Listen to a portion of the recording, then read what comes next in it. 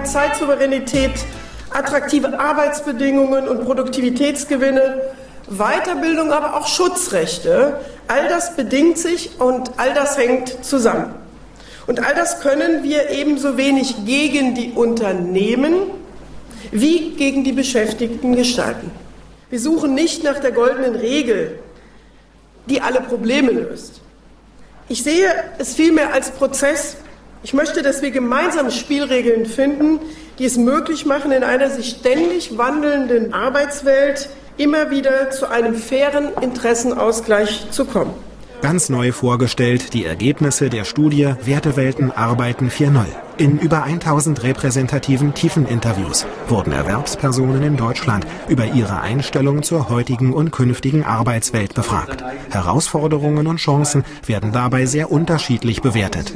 Und dann kommt man auf eine Gruppe die sich eigentlich heute besonders wohlfühlt, weil sie sagen, es gibt riesen Herausforderungen, wir haben Verantwortung, wir gucken nach Effizienz, wir wollen ein wirtschaftliches Vorbild sein, wir haben eine Rechtssicherheit in diesem Land, wir haben einen Wohlstand dabei. Und eigentlich wollen wir engagiert Höchstleistungen erzielen dabei. Das ist das Bild, was sie letztendlich vor, Augen haben dabei und haben, wenn man so will, so ne-, ein Negativbild auf der anderen Seite, wo sie sagen, da sind wir glücklicherweise gar nicht, dass man völlig schutzlos, schlecht ausgebildet ist, wo jeder machen kann, was er will, also Machtmissbrauch und Willkür, unproduktiv, starre Systeme, traditionelle Rollen. Da haben wir uns daraus gelöst dabei und sehen die Entwicklungsgeschichte sehr positiv.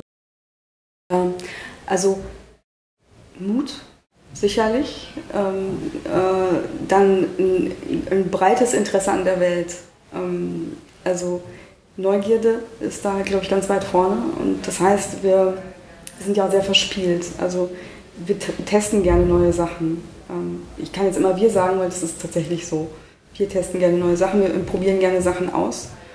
Und ähm, es ist wichtig, dass wir da Erfahrungen sammeln. Und das wollen wir eigentlich auch alle. Und dieser Mut heißt dann eben auch, wenn ein Projekt reinkommt, dann probieren wir neue Sachen aus. Und das kann gut gehen. Das tut es in vielen Fällen. Das kann aber auch mal schwierig werden, eben weil man sich in Neuland gewagt hat. Und da ist es uns zum Beispiel ganz wichtig, dass wir Fehler machen dürfen. Also wir erlauben natürlich allen Mitarbeitern Wagnis einzugehen und das Wagnis dann kann auch mal schiefgehen. Ja, also wir haben gemerkt, dass bei Projektarbeiten, dass es wirklich wichtig ist, dass die Leute manchmal zusammensitzen. Ähm, deswegen haben wir keine feste Homeoffice-Regelung. Ähm, das ist immer ad hoc und auch eher sporadisch. Ähm, es gibt, und das ist vielleicht ein Nachteil von einem Open Workspace, so wie wir ihn haben, ähm, hier wenig Rückzugsorte, wenn man konzentriert arbeiten muss. Ähm, wir, haben die Zellen am Rand, äh, die man buchen kann und wir haben auch im Keller nochmal Räume. Ähm, aber wenn man länger konzentriert arbeiten möchte und das nicht so gut mit Kopfhörern kann zum Beispiel, äh, dann gibt es diese Möglichkeit eben woanders zu arbeiten. Wir haben aber auch eine kleine Wohnung gemietet, die ist in der Nähe vom Tempelhofer Feld. Und da kann man sich dann zum Beispiel auch hin zurückziehen. Auch mit dem ganzen Team, wenn man möchte, wenn man ein bisschen intensivere Arbeitsatmosphäre haben möchte und hier nicht von Office to Huvabo drumherum ähm, abgelenkt werden muss.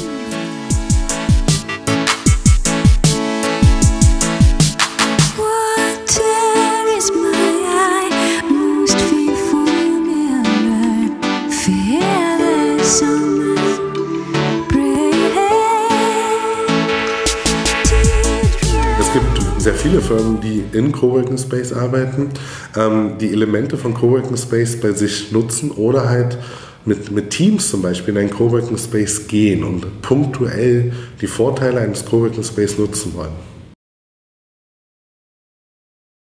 Der typische Coworker ist überhaupt der typische Mensch, der arbeitet. Ähm, Grundelement ist eigentlich, dass Sie einen, Laptop haben, also ein Gerät, das sich mit dem Internet verbinden kann, was tragbar ist, wodurch Sie auch mobil arbeiten können. Ansonsten ist es sämtlicher Durchschnitt unserer Gesellschaft und unserer Arbeitswelt.